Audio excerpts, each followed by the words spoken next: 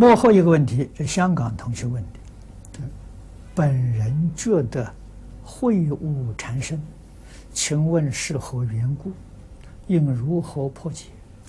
这个问题我们解答的很多啊，这个就是由鬼神附身啊，鬼神附身的情形很复杂，有些是时间很短。啊，传递讯息，有些事呢是自己的业报，啊，他来找你麻烦的，附在身上很多年都不离开的，啊，最初这有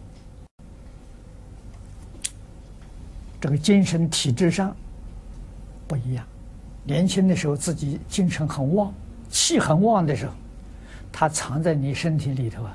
他也不敢动，啊，你也不会觉察，觉得没什么事情。到你的运衰了，体力也衰了，它就起作用了，你就感觉的时候，它就妨碍了。啊，这个这种是一个很普遍的一个现象，啊，都需要调节，啊，要好好的来化解，啊，要知道一切众生。与我们过去生生世世都有关系啊！这一生没有得罪人，过去生中难免没有得罪人啊，没有亏欠别人的啊，他这个这个怨恨很深啊，他不肯放弃，一定要来找报复，哎，这原因多半都是这样的啊，所以一定要是。以诚意、真诚心来给他调解啊，所以可以问他叫什么名字啊？我们在过去有什么事过节，问清楚他会说啊。明了之后呢，我们可以给他立个牌位啊。你不清楚的时候，你就不好立牌位，问清楚给他立个牌位。或者是在家里，或者是在道场，啊，立个牌位呀，来超度他，来帮助他，啊，希望他呢也能够离开恶道，啊，也能够念佛求生净土，啊，把冤家了变成自己的同参同学，这样就好，啊，绝大多数啊。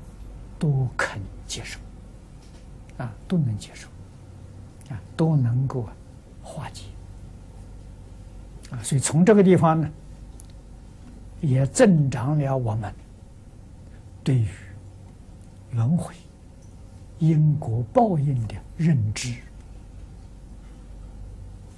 啊，我们真正明白这个事情是真的，那么自己对自己的修行有很大的帮助。处事待人接物，不敢跟人结怨，啊，知道结怨呢，后面有果报，啊，果报是生生世世，啊，很麻烦的事情，啊，佛在经上讲讲的很清楚、很明白，啊，讲这个果报情形，啊，所谓是因缘聚会时。果报还自受啊！啊，所以起心动念、言语造作，不能不谨慎。啊，明白这个道理之后，我们对一切人起心动念都是善意，没有恶意。啊，念念呢，帮助众生，啊，决定有好处。啊，念念要是障碍别人。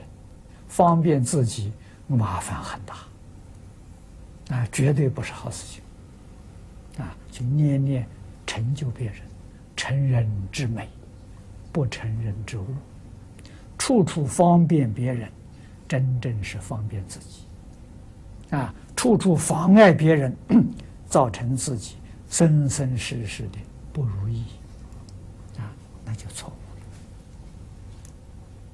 那么现在 这个社会上，有很多学佛的人懂这个道理。但是到事情发生的时候，为什么他就迷惑了呢？大多数他并不迷惑，这面子放不下，好，处面子吃亏可大了，这是啊。所以我们要真正知道这桩事情。所以这些真正在这个世出世间这个学学求学来讲啊。这个学问没有到家啊！你看看，古人讲的“学问深时意气平”呐。你们看看，释迦牟尼佛要不要面子？不要啊！释迦牟尼佛不要面子，他才能普度众生呐。啊孔老夫子要不要面子？不要。圣人不要面子，贤人不要面子。君子不要面子，谁要面子？小人要面子。